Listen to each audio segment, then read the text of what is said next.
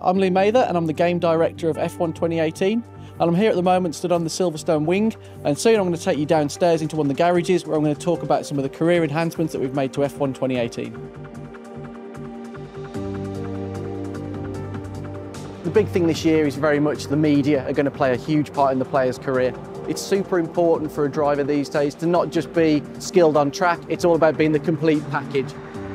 In F1 2018 we've got a new media character called Claire and she will approach you at various points to ask you questions that are relevant to what's going on through the season. And this could relate to multiple things. It could be on contract moves, it could be on performances in races, it could be on your teammate, on other drivers. The player's going to need to really take into consideration how that impacts on not only the morale of the team, so certain departments will feel demotivated, the time and the price or the unreliability of upgrades will increase, but also how other teams in the paddock perceive them. So it may be that a certain team would like to see a driver who's a great sportsman, demure and good in front of the press, doesn't ever rock the boat, doesn't say anything nasty about anybody, even under high pressure situations. Or it may be that you want somebody who's more of a showman. Some teams really want somebody who got that character, that effervescence, that buzz with the media. And sometimes they may say things a little bit off the cuff, that cause a bit of controversy. As you become reputable in the paddock, you will open up different answers which will allow you to really exert your character within the game.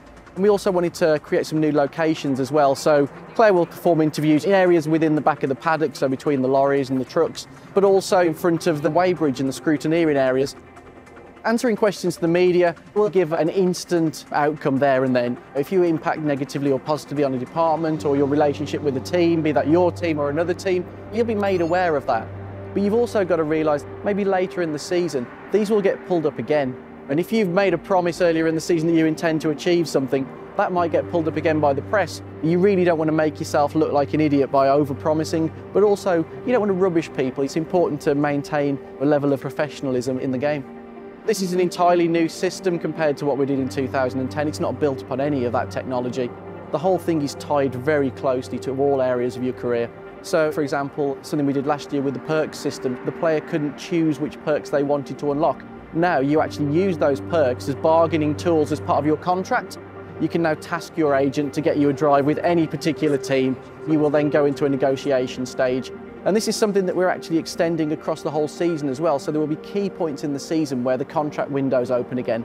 So it may be that you take that risk of moving teams during the season. It may be that you move to a team that have got worse R&D than you or a car that doesn't suit you as well. But the perks may look more attractive. You may think that you can progress your career quicker by going to another team. It's super important that I have a value as a player and that value is really important. If I start to overvalue myself, a team isn't going to go with the contract that I want. If I say I'm going to achieve this and I fail, my value with those teams will go down. In F1 2018, the player will have rivalry with their teammate. That's always the benchmark for how good you are within the team, because obviously you're using exactly the same machinery. But you can also now challenge another rival off the grid. So you can pick who you want to try and beat. And the key thing with that is you can bet your skill level against another driver. If I'm performing reasonably well and I say, I'm going to go and beat Lewis Hamilton, I'm going to beat Sebastian Vettel, that's setting your stall out as I'm a strong driver, I can beat the top in the sport.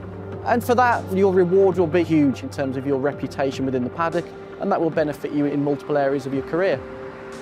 Broadcast style for Formula One's always been something that we've been super passionate about, really representing the sport very cinematically, giving those beautiful intros, having real world commentators talking about what's going on. So this year we've expanded that system to take into account a lot more of what's going on throughout the course of the season. So now race intros will feature things that have occurred in previous races. The press will refer to things that have happened in previous races. So it's not just a case of on a race by race basis. This is a long season and everything that happens will play out through the eyes of the media and through your team.